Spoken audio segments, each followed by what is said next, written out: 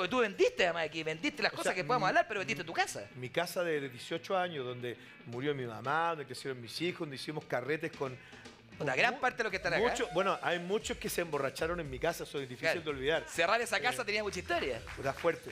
No, pero además, mira, nosotros estamos en Miami un rato. ¿Ya? Y yo me vine ¿Ya? y hablé con mi cuñado que, que maneja mis cosas, qué sé yo, que le mando un saludo grande. Le digo, oye, weón, ¿cómo va a vender ahora en pandemia? ¿Quién te va a comprar esta weá? ¿Ya? Y le digo, perdón. No, eh, Perdón, esta casa tiene mucha historia. O sea, bueno, y resulta que ponemos la venta de la casa y de repente mi cuñado me dice, la Silvana estaba en Miami, me dice, eh, tenemos comprador. ¿Y ahí qué te ¿En pasó? serio? No le digo, ¿en serio? Ya, pero la yo, la, yo la voy a vender. ¿Cómo tú la vendes? Yo la vendo. Yo voy a ir para allá. Yo voy a estar con el, con el ¿Ya? comprador. Yo, saludo a Felipe que ahora eh, ¿El dueño de casa? el dueño de casa. Entonces, el- va el, el- el probable com- comprador. ¿Ya? Eso, música de tensión.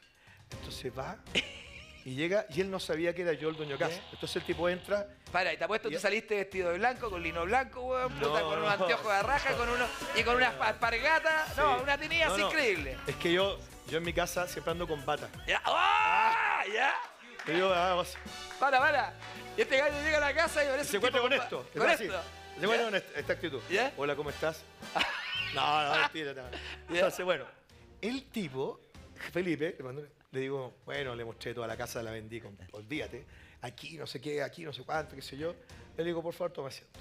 Así como está. Entonces le dice, antes que hable el correo de propiedad, Ah, miércoles. ¿Ya? yo no te estoy vendiendo una casa. ¿Ya? Y me dice, ¿cómo es? Yo te estoy vendiendo un hogar. Esto que está acá es un hogar. Es un hogar. Entonces voy a mi. Mira, ahí está.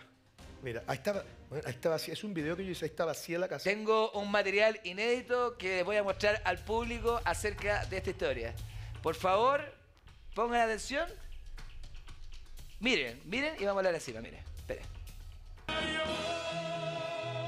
Fuerte, ¿no? Sí, claro. Bueno, yo dramatizo todas estas cosas porque soy muy intenso, pero la verdad que soltar una historia y la Silvana no estaba y me tocó a mí eh, cerrar la puerta por última vez. Entonces yo le dije a, a Nicolás que trabaja conmigo, le dije, grave esta vez. Hagamos un, hagamos un registro de este momento histórico en nuestra vida.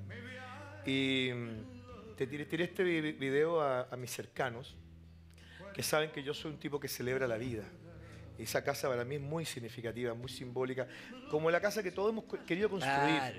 pero que es un hogar. Eh, es, un, es un lugar que tiene emociones, hay una energía que nosotros dejamos ahí. Entonces yo no estaba vendiendo eh, una casa con pared, había un, había un registro mío muy potente y, y de mis hijos y todo.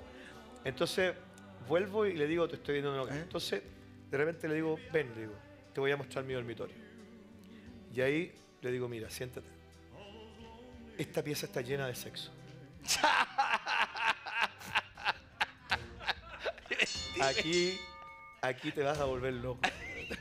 La Porque energía que La hay aquí. energía que yo te estoy dejando no tiene precio. No, espérate.